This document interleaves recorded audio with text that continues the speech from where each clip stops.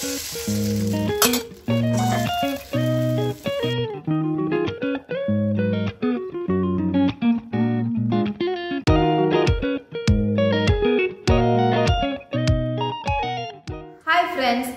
to Kerala home recipes आज मैं आपको दिखाना चाहती हूँ अपम का रेसिपी केरला में इसे पालपम भी कहते हैं। केरला में अपम कई तरह से बनाती है।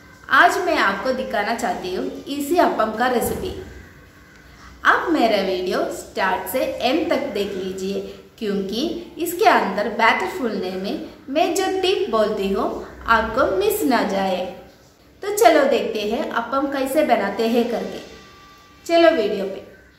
अपम बनाने के लिए मैंने इधर एक ग्लास भर के वाइट राइस लिया है। वाइट राइस को चार घंटे पहले पानी में सोख करके रख लिया था।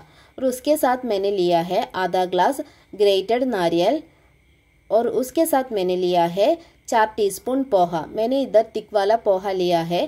पोहा को बैटर बनाने के लिए आधा घंटे पहले पानी में सोख करके रखना है।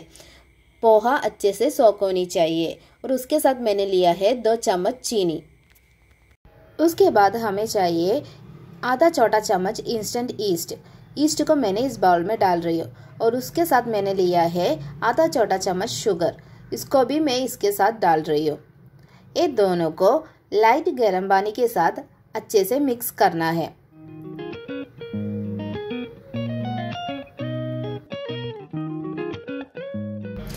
ईस्ट अच्छे से मिक्स हो गया है। इसको फूलने के लिए पाँच मिनट तक साइड में रखेंगे। अब हम बैटर बनाना शुरू कर देंगे। रखे हुए राइस का आधा राइस डालेंगे। नारियल का भी आधा डालेंगे। पोहा का भी आधा डालेंगे। उसके साथ एक टीस्पून शुगर भी डालेंगे। उसके बाद हम पानी डालेंगे। पानी डालने के टाइम थोड़ा आराम से डाल दीजिए।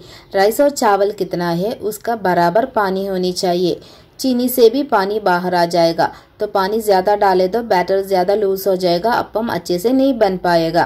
पानी इसमें थोड़ा कम हो गया तो भी चलेगा। पानी बराबर हो गया है, इसको हमने स्मूथ बैटर बना के लेके आएँगे। अब हमारा एक ट्रिप बैटर रेडी हो गया है। इस बैटर का एक बर्तन में निकालती हूँ।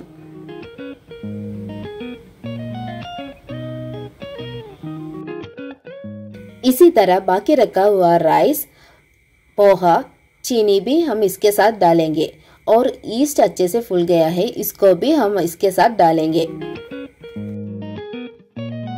और इसमें पानी बराबर डाल के अच्छे से बैटर बना के लेके आती हूँ। थोड़ा ग्राइंड होने के बाद मुझे याद आया, मैं नारियल डालना भूल गया। बाकी रखा हुआ नारियल भी उसके साथ डालना है और ग्राइंड करना है। बैटर हमारा अच्छे से ग्राइंड हो गया है। इस बैटर को पहले डाला हुआ बैटर के साथ डालेंगे। बैटर डालने के बाद इसको अच्छे से मिक्स करना चाहिए। ईस्ट को भी अच्छे से मिलाना ज़रूरी है। ईस्ट शुगर और गर्म पानी के साथ हम मिक्स करें तो ईस्ट जल्दी एक्टिव हो जाएगा। और एक बात ईस्ट फ्रेश होनी चाहिए, वो ध्यान में रख लीजिए। बैटर चार और पाँच घंटे के अंदर अच्छे से फूल जाएगा। और ठंडा मौसम के टाइम बैटर फूलने के लिए टाइम ज़्यादा भी लगेगा। अब हम इसको पाँच घंटे के बाद देख लेंगे। पाँच घंटे हो गया, हमारा बैटर अच्छे से फूल गया है।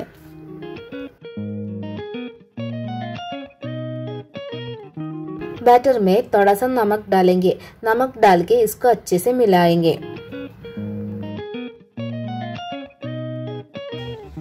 अब हम अपम बनाना शुरू कर देंगे। कढ़ाई मीडियम गर्म होने के बाद उसमें बैटर डालेंगे। बैटर डालने के बाद कढ़ाई को ऐसे घुमा लेंगे। अपम में थोड़ा होल होने के बाद ढक्कन लगा के 30 सेकंड तक उसे पकाएँगे। अपम इधर रेडी हो गया। इसी तरह बाकी बैटर को भी अपम बना लेंगे।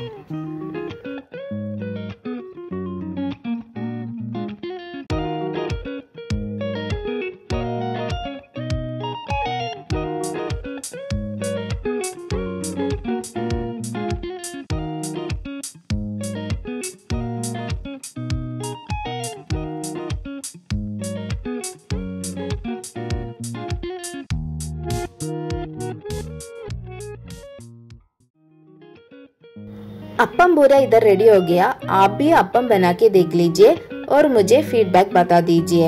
मेरा वीडियो पसंद आ गया तो लाइक भी कर दीजिए।